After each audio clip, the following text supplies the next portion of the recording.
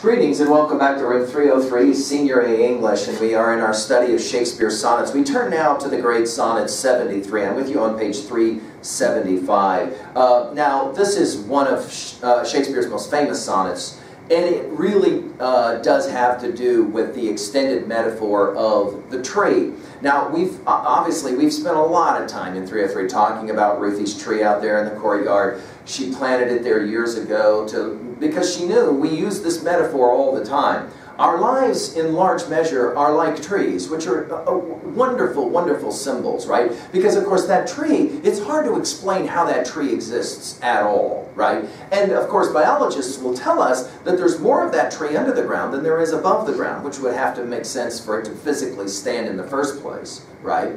And there's, there's a whole lot of interesting things that can be said about that tree, and the loss of its leaves, and the passage of time, and the ways in which the tree looks dead in the middle of January, and then it comes back to life. It's almost a miracle of a kind that then all of a sudden in May, the leaves all come back again, and then again by October, November, the leaves begin to drop off.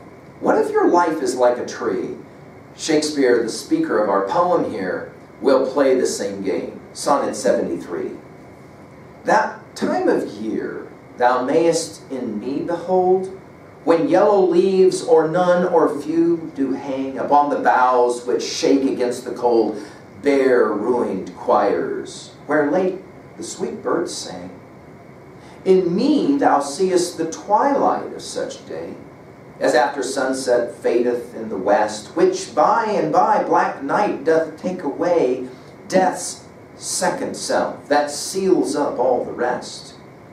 In me thou seest the glowing of such fire that on the ashes of his youth doth lie, as the deathbed whereon it must expire, consumed with that which it was nourished by.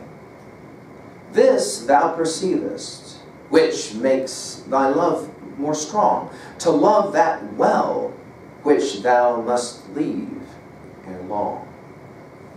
Now, of course, we're playing around with an extended metaphor, a symbol of a tree, and the way in which the poet speaker says, I'm already beginning to see that I'm like a tree that is, like all trees, aging, getting older.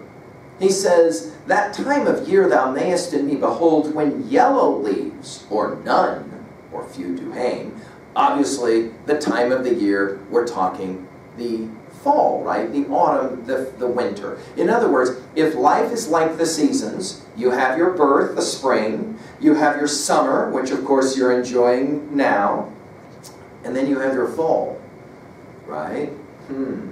Now, what's that going to look like? What's that going to feel like? Well, we know what it looks like with Ruthie's tree. Those beautiful green leaves start to turn something other than green, right? They'll turn yellows, they'll, they'll turn reds, they'll turn browns, grays, and ultimately they'll fall. He says, I'm beginning to already realize that this is happening for me, right?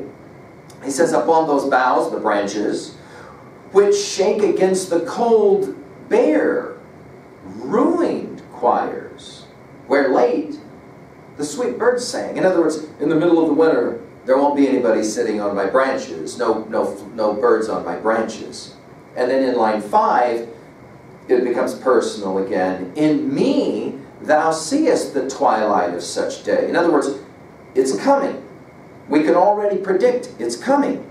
As, another, another simile, comparison using like or as, as after sunset fadeth in the west, which by and by black night doth take away death's second self that seals up all in rest. In other words, in the same way at night that you sleep, the end of your life is like the coming of night, and you'll go to sleep, the second death.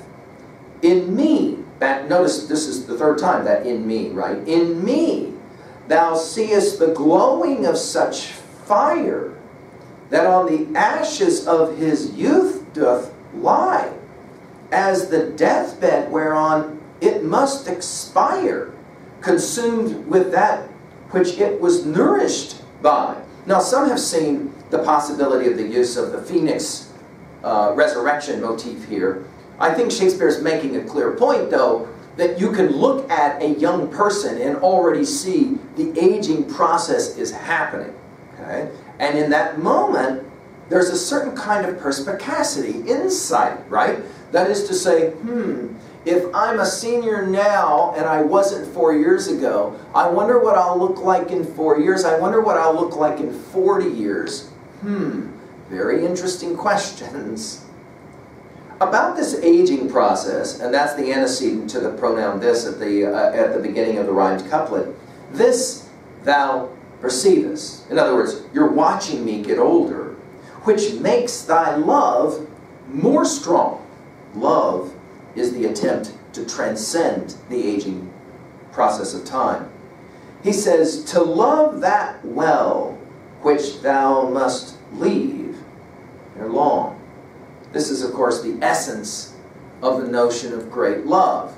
Because one knows that one does not have people with one forever, that's what gives love its power.